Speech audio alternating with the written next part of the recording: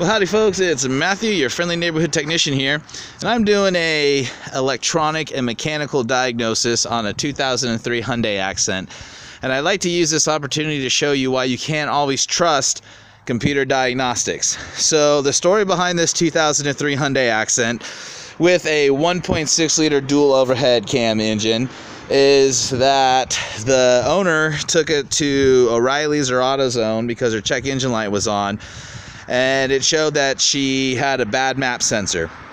So ultimately, honestly, how exactly do you know if you have a bad map sensor? A lot of times, codes that come up, they're just generic codes and they'll tell you one thing, but sometimes there can be an underlying issue. And so it definitely is worth the time and money to go in and have somebody do a full diagnostics before you start swapping out sensors or gaskets or doing anything like that. So when it came to me, I went ahead and put the computer on it. And that's what we're to do here.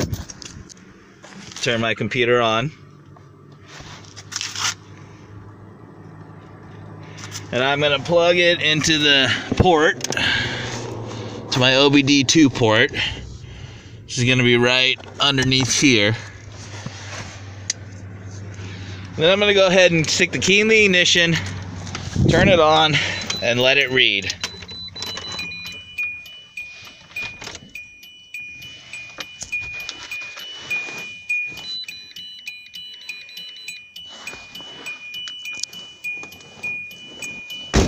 Let's see, what do we got going on here? Unable to establish communication, verify the connection,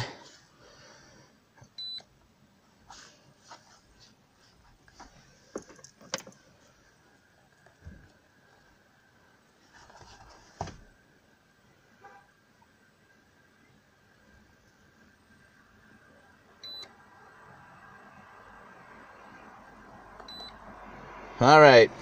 So, what's interesting is in the beginning, we had a map sensor code. Now we have an air temperature sensor code.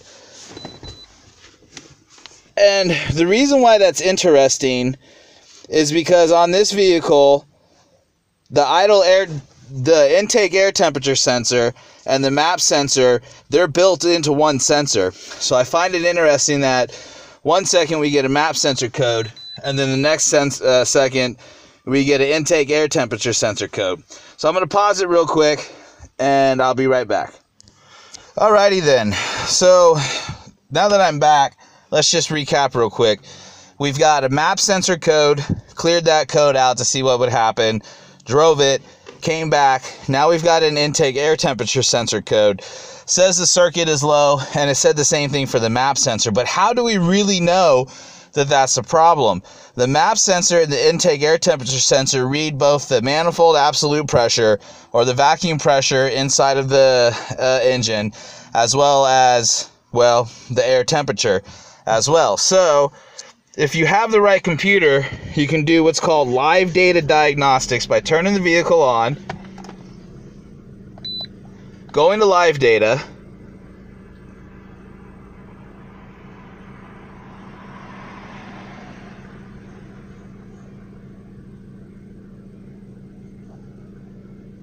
And now we have real time live data of what's happening with certain sensors within the engine as it's running.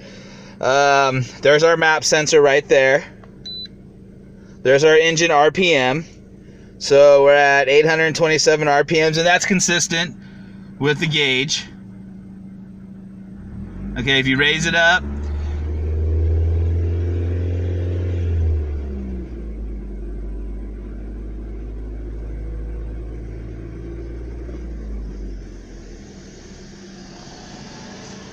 See my computer's doing here.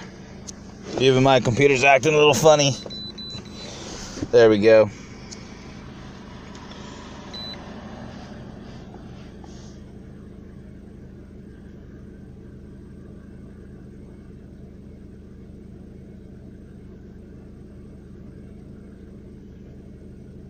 So going back to live data,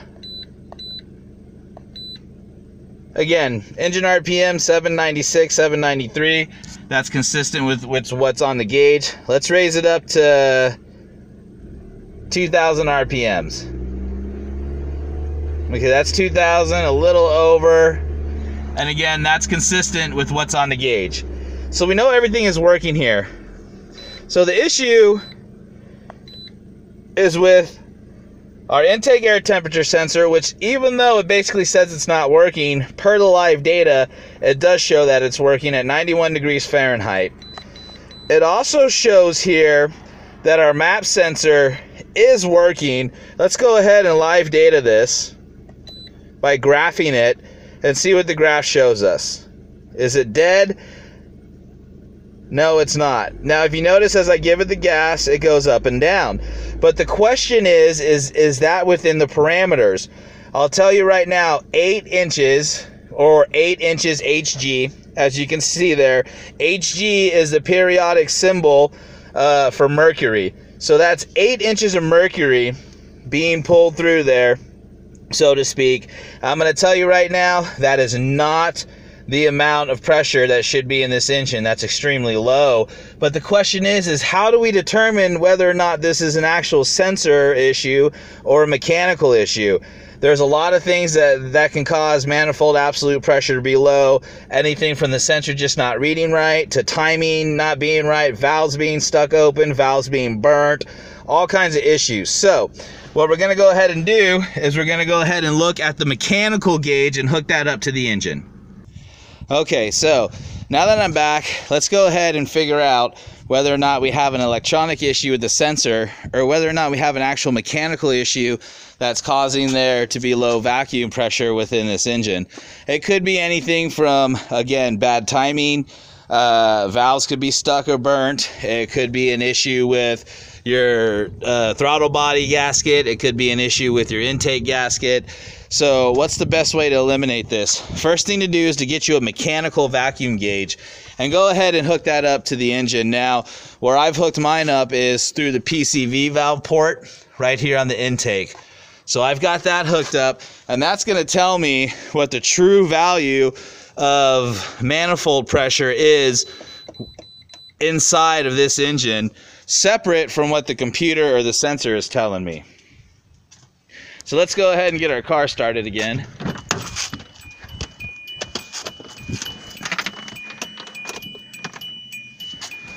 Alrighty. So I've got the car in the on position.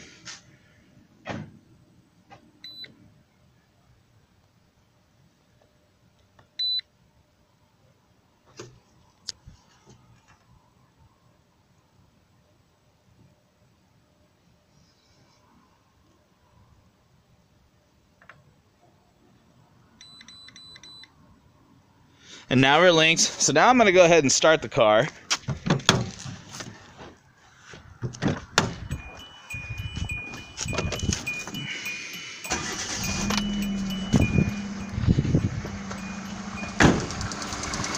I'm going to go back to my live data.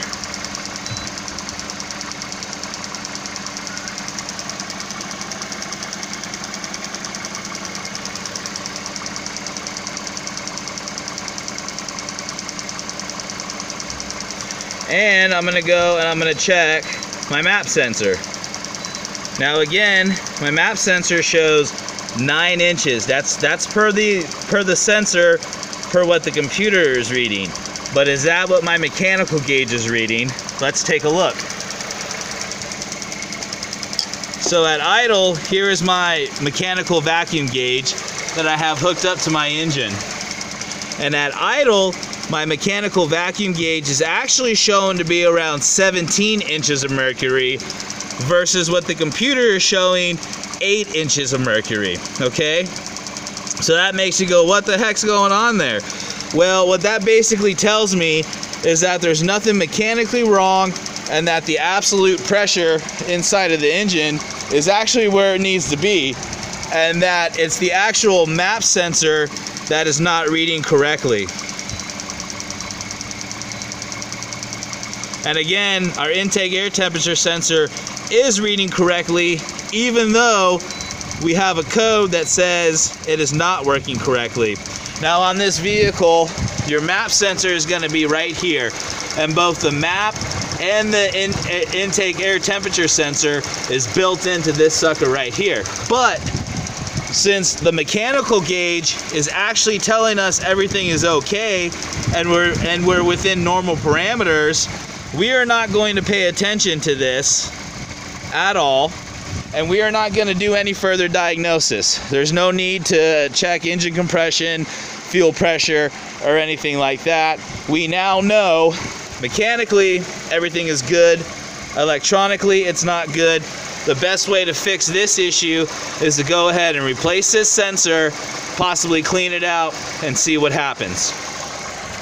So there you go, folks. There's a good example as to why you can't always trust your check engine lights and your computers and why it makes sense to go ahead and do mechanical and computer diagnostics as well as visual inspections.